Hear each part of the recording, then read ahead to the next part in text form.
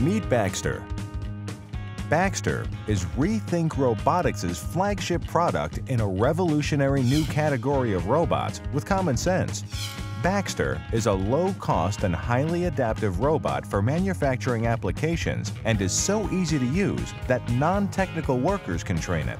Baxter increases workforce productivity so that factories can compete with low-cost offshore labor. And Rethink Robotics practices what it preaches. Our robots are made in America. Baxter can do manufacturing tasks like material handling, line loading and unloading, test and sort, machine tending, packing and unpacking, light assembly, and finishing operations. Baxter is a complete system requiring no integration.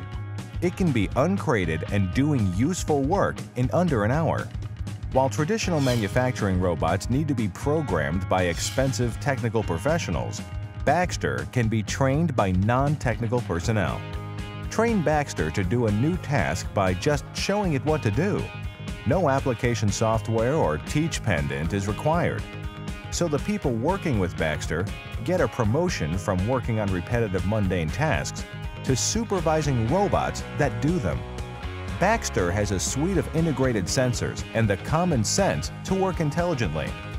It adapts to the speed of the conveyor and variation in part placement and does human-scale tasks at human cadence. So unlike traditional automation, there's no need to redesign your workflow to accommodate Baxter. Baxter safely operates elbow to elbow with people. Its unique compliant mechanical architecture lets Baxter give on contact Baxter is an extensible platform like a PC or smartphone. You get regular software updates with new capabilities. Baxter is showing up everywhere, at small manufacturing firms that couldn't previously afford robots, and at large firms, rethinking processes that weren't previously economical to automate. Rethink manufacturing. Rethink offshoring. Rethink robotics.